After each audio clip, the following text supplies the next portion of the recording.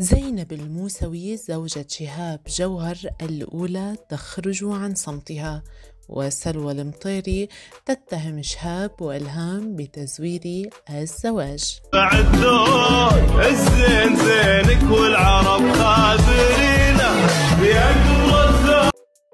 أثار زواج الفنانة الكويتية إلهام الفضالة من الممثل شهاب جوهر جدلا واسعا وتصدر الخبر مؤشرات محركات البحث ومواقع التواصل الاجتماعي. ومنذ أن انتشر الخبر التزمت زينب الموسوي زوجة شهاب جوهر السابقة الصمت. إلا أنها اكتفت منذ ساعات بكتابة بعض الكلمات الغير مباشرة التي تدل على حزنها وطلبت من جمهورها الدعاء. وكتبت عبر حسابها الرسمي تطبيق سناب شات.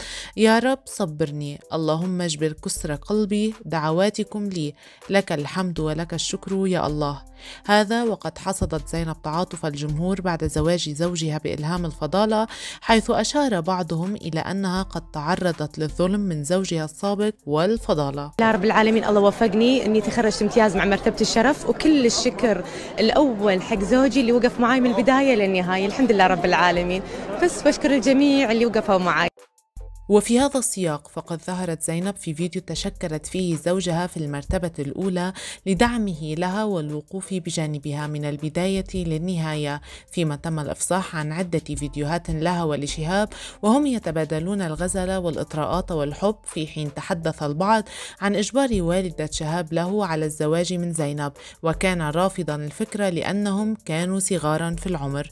إلا أن جهلة الأربعين تمادت ودخلت قلب شهاب ليقع في حب إلهام التي تكبره بالعمر حيث أنها جدة في الخمسين. مثل ما أنتم تعرفون إلهام فضالة آه، عندها عيال وجدة وما شاء الله يعني عندها مو يعني إنسانة على قد حالها لا عندها ملايين. لدرجة أن اسمها تم تداوله أيام موضوع آه، لما حطوا سالفة غسيل أموال آخر شيء طلع ما في شيء اسمه غسيل أموال.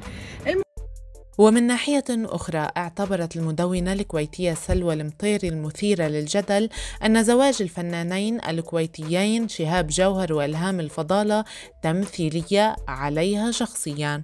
وقالت في بث مصور أن إلهام امرأة تمتلك المال والعيال وجدة أيضا. لماذا تزوجت من رجل متزوج؟ وأضافت أن مثل هذه التمثيليات التي نراها في المسلسلات أصبحت في الواقع.